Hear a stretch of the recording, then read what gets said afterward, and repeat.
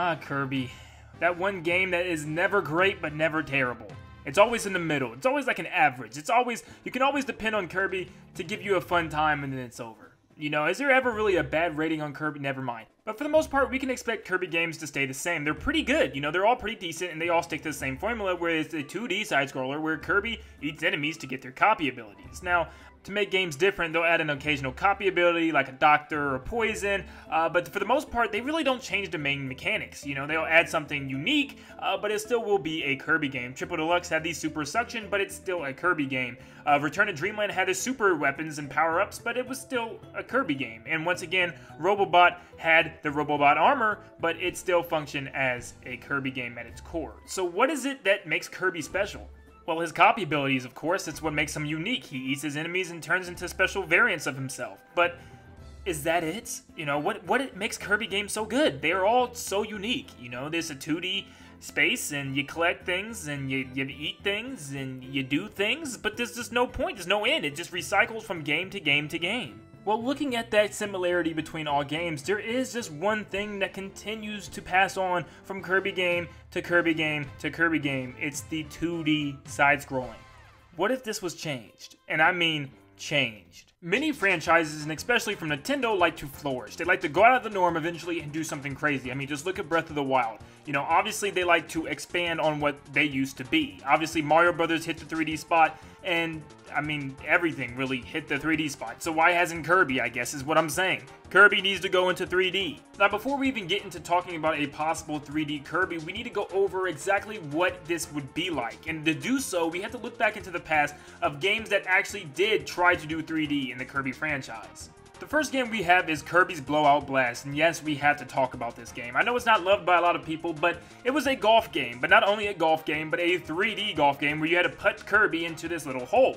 And it was actually kind of fun, I enjoyed it. But anyways, back to the point, is it's a 3D Kirby game. It has a 3D grid where you have to work with the fundamentals of the stage and the enemies in order to make that hole appear and hit Kirby in it. There's lots of graphics and lots of uh, gravity mechanics and stuff with it that you have to get used to, uh, but it's a fun game nevertheless. And it is one of the first times that Kirby did go 3D. Now, of course, he doesn't move or walk, he just rolls and stands in one spot, um, but this is the first time we get to see one of these spaces, and what we'll notice is it's not an open world. It's more like a Super Mario 3D world type of stage, or 3D land, rather, where it's a small, little floating platform in the middle of nowhere, and you get this small, limited 3D space until you're out of it. A little time forward, we get Kirby 64, which is not a 3D game in any sense, but it is trying to expand on that mainline Kirby game franchise by adding something a little unique. Not only did it have copy abilities that you can mix, but it had a 2.5D kind of style where the camera would turn angles multiple times, and it kind of gave the influence and, you know, kind of made you think that it was in 3D a lot of the time. And that was a cool little atmospheric approach that they took. And this is the first time in a mainline Kirby game that they've actually changed the way the camera angle functioned. And this was what was so interesting. This actually had promised that eventually in the future that Kirby would go 3D, and it actually does happen a few years later.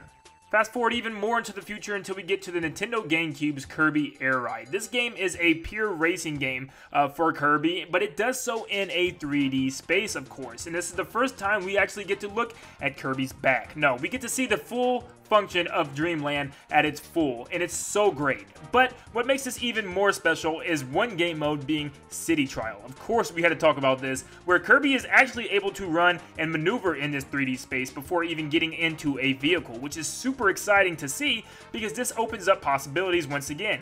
Kirby does work in a 3D space. Now, you can't do much. You're really limited to about, I think, a little bit of floating and running and around, but for the most part, you jump into a car and you continue. But this shows that the camera can also follow Kirby um, in this 3D open world sandbox experience. And that's what's so unique and so exciting because it's able to work. We've seen this happen before. But unfortunately, Air Ride was only limited by the fact that it was a pure racing game and a racing game at heart. Now going all the way to the Nintendo 3DS, we have to start talking about these last two games, which just took place recently, being Kirby 3D Rumble and Kirby Blowout Blast. 3D Rumble was one of those small game modes that came with a Kirby Triple Deluxe on the Nintendo 3DS. It was a small little game that had a whole bunch of segments of 3D platforming where you had to suck things up and destroy them at a certain amount of time and complete the level as quick as you can. But what was so unique about that, if you paid attention, is it's a small 3D Kirby game. It's pretty much what it is. You have very small compact levels which have pretty much no design at all. They're just little grids laid around everywhere. They remind you a lot of Kirby Dream Course, but at the end of the day, it looked like to be a small little thing Nintendo was testing the waters with, and in fact, they actually were, as in the small future, we get something just like it, but a little bit more advanced. Last but not least, let's usher in Kirby Blowout Blast, which is a full mode and a full game that was actually released on the eShop for only about 10 bucks. Uh, but it is a very small little game that Nintendo came up with, and it's really fun. It's just an expansion of the previous, where you have these grid levels, and you have to get these coins and defeat the enemies in a certain amount of time. But instead of just focusing on one grid, you would move to many different grids throughout a single level. The camera angle was also changed from being directly over Kirby's head to more of a fixed state in front of the stage, similar similar to 3D World and 3D Land.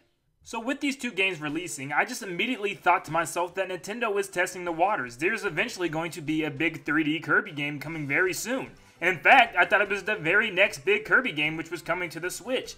But in fact, it, it wasn't. It was just Kirby Star Allies, which was, to me, a very bland game. You know, it was fun and everything, but it lost its value after a couple playthroughs very quickly, and it was just another Kirby game in the series, and I was really hoping they hit that 3D spot. Now in 2014, Nintendo Today did get the opportunity to interview HAL Labs and talk about a potential 3D Kirby game coming in the future. They were asked about it, and of course, they simply responded, We'd really be interested in making a fully 3D Kirby game. I suspect there are also more than a few users who'd appreciate being able to freely run around a sprawling map fighting with copy abilities. So obviously HAL Labs is really in for this idea. They think it's a really good idea and it's something that they would love to work on in the future. But once again, this was in 2014. And they just now came up with these 3D blowout blast type of stages in games, so I'm really convinced that this is the only thing that they're going to do for the time being. I'm hoping I'm wrong, but that's what it looks like right now.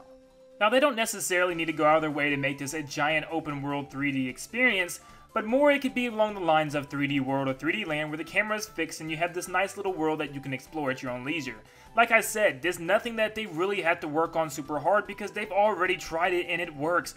Kirby can move around in a 3D space perfectly fine. He can suck up enemies and even use copy abilities the same way. I mean, we even have that Kirby Fighters game which does that. So, all the tools are here. You know, everything is here at place and everything is ready. It's just up to Nintendo.